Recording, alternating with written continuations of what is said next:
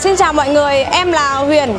Ờ, hôm nay em được đến đây ờ, để ờ, chuyên linh về buổi học ừ, thay đổi suy nghĩ về ừ, cái tư tưởng của mình. Thì em cảm thấy như là ừ, từ ờ, một người em chưa hề biết gì đến kinh doanh hệ thống nay em thực sự rất là hào hứng mà em cảm thấy em rất là tự tin. Sau cái buổi này em quyết định là em phải thành công hơn nữa phát triển mình hơn nữa. Em tin mọi người sẽ làm được như em ạ. À, À, xin chào mọi người, mình xin tự giới thiệu mình là Hường.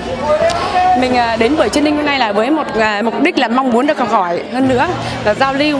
Là rất may và vinh dự cho mình hôm nay là được gặp cô Lê Hường, một nhà, nhà đào tạo đã giúp cho tất cả các bạn và mình ngày hôm nay có một buổi học, một sân chơi bổ ích. Xin chào tất cả các bạn, tôi là Trần Hiển, chuyên gia đào tạo về kinh doanh online. Và đến với chương trình training ngày hôm nay, các bạn sẽ nhận được rất nhiều cái giá trị. Và thành công là tạo ra giá trị và giá trị đây ở đây là những thứ bạn cho đi.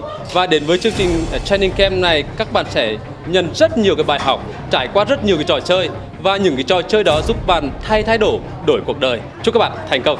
Message Xin chào các bạn, mình là Nguyễn Hiếu, chuyên gia đào tạo về các vấn đề liên quan chốt sale, tâm lý khách hàng, làm sao để cho tất cả các bạn có thể có một tâm lý, một kỹ năng thật sự tốt trong quá trình bán hàng về kinh doanh online, đặc biệt làm việc theo hình thức hệ thống.